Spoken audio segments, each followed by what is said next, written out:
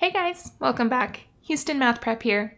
In this video, we're going to take a look at calculating confidence intervals for sample proportions.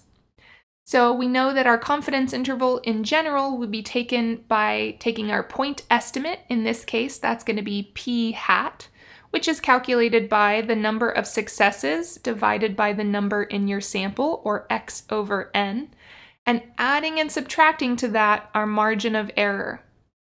For proportions, our margin of error is calculated by taking a z critical value times the standard deviation for the distribution of sample proportions.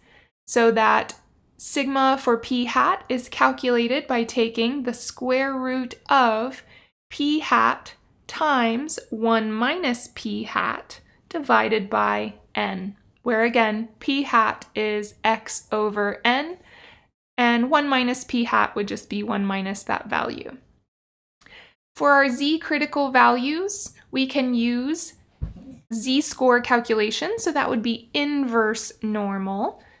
And we take the area in the tail that is left over by putting our confidence level as the area in the middle. So let's say we wanted to be, let's say 70% confident then that would leave 1 minus 0.7 in each of, or in the tails, and then taking that in half, that would be 0.15 in each tail. We can use inverse normal and feed the area to the left, which would be 0.15, and 0 for the mean, 1 for the standard deviation, and that would give us our confidence level there.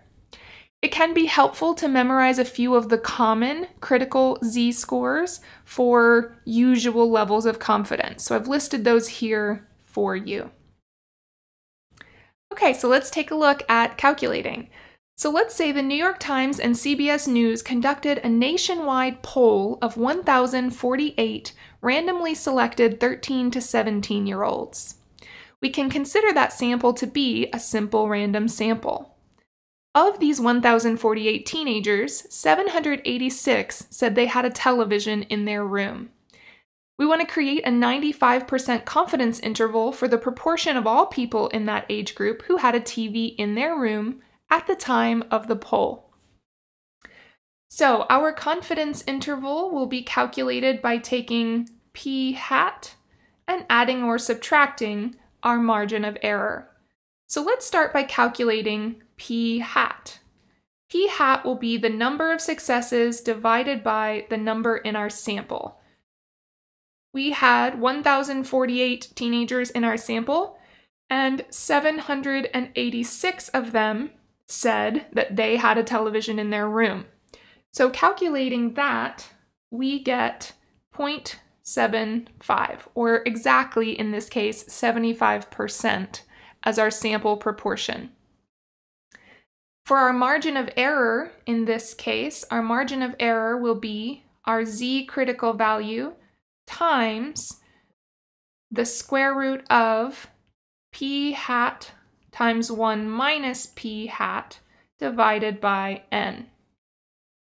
Since we are using a 95% confidence level, our z critical value will be 1.96 we're going to multiply that by our p hat is 0.75 times 1 minus 0.75, all divided by n, or the number in our sample.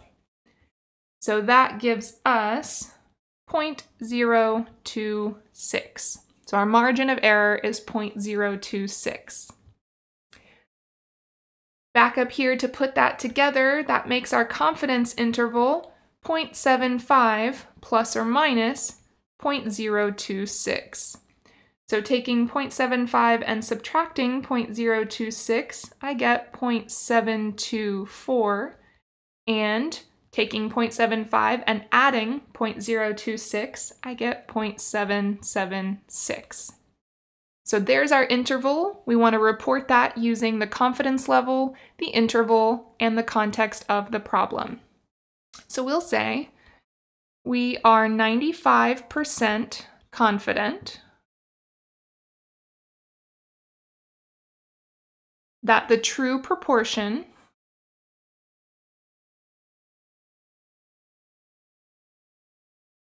of 13 to 17 year olds with a television in their room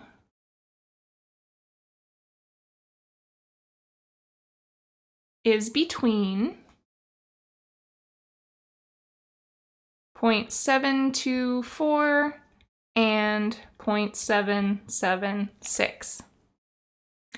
All right, guys, that does it for this video on calculating confidence intervals for proportions. We'll catch you in a future one.